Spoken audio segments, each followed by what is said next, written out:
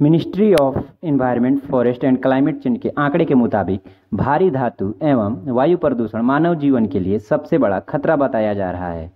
भारी धातु प्रदूषण यानी copper, zinc, lead, mercury, uranium इत्यादि जैसे मेटल का वायुमंडल एवं पर्यावरण में अधिक मात्रा में हो जाना।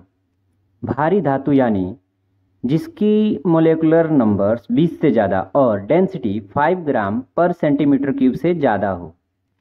जब ये धातु पेय या भोजन के माध्यम से हमारे शरीर में प्रवेश करते हैं तो कई प्रकार की बीमारियाँ होती हैं, जिस कारण इसे मानव जीवन के लिए खतरा बताया जा रहा है। इसका मुख्य कारण कल कारखानों द्वारा नदियों में सीधे बहाए जाने वाले कचरा, शहरों द्वारा निकाले गए कचरे को सीधे नदियों में प्रवाह कर देना, एवं खेतों में अधिक मात्रा में उर्वरक एवं कीटनाशकों का उपयोग करना है।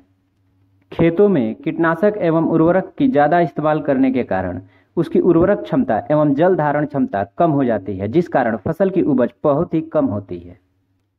हम जानते हैं कि धातु का मुख्य स्रोत पहाड़ एवं चट्टान होते हैं और इनके खनन से निकाले गए वेस्ट मटेरियल भी धातु प्रदूषण के मुख्य कारण है। धातु होने के कारण इसके प्रदूषण का असर बहुत ही लंबे समय तक होता है और इसका प्यूरिफिकेशन बहुत ही मुश्किल और महँगा होता है। अगर भारी धातु का असर खेतों में अधिक हो गया तो फ़सल की उपज बहुत ही कम हो जाएगी और ये बहुत लंबे समय तक चलेगा, जिस कारण बहुत ही बड़ी समस्या का सामना करना पड़ सकता है।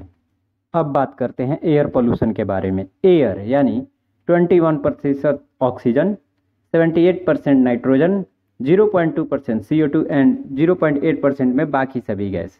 ये गैस का स्टैंडर्ड क्वालिटी माना जाता है। वायु प्रदूषण के मुख्य कारक CO2, SO2, CO and CFC जैसी गैसेज हैं।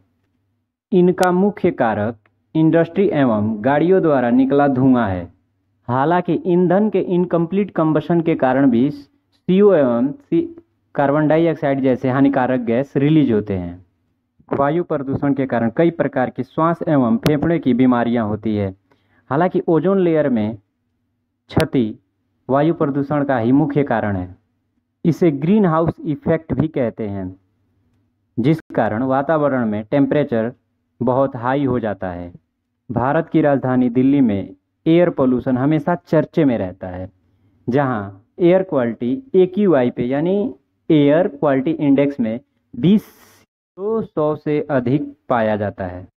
हालाँकि, स्वच्छ वायु की एयर क्वालिटी इंडेक्स में रीडिंग 50 से 90 के बीच होती है, मगर दिल्ली में पेड़ पौधों की कमी एवं वाहनों की अधिक मात्रा में उपयोग मुख्य कारण है। दिल्ली में ग्रीन हाउस गैसों के रिलीजिंग ओरिजिन बहुत ही ज़्यादा है, मगर पेड़ पौधों की कमी होने के कारण कार्बन डाइऑक्साइड डिकम्पोज नहीं हो पाता है। भारी धातु प्रदूषण का असर भी दिल्ली की यमुना नदी में देखने को मिला, जिस कारण यमुना नदी में बहुत ही मात्रा में झाग बनने शुरू हो गए थे। पेट्रोलियम एवं कोल एनर्जी पर निर्भरता वायु प्रदूषण के मुख्य कारण बताए जाते हैं। प्रदूषण को और अच्छे से विस्तारित रूप से हम वीडियो सेक्शन में डिस्क्राइब करेंगे। अगर आपका कोई क्वेश्चन हो तो कमेंट सेशन में ज़रूर मेंशन करें। फिर मिलते हैं अगले सेशन में। तब तक के लिए पढ़ते रहें स्वस्थ रहें और सुरक्षित रहें। धन्यवाद।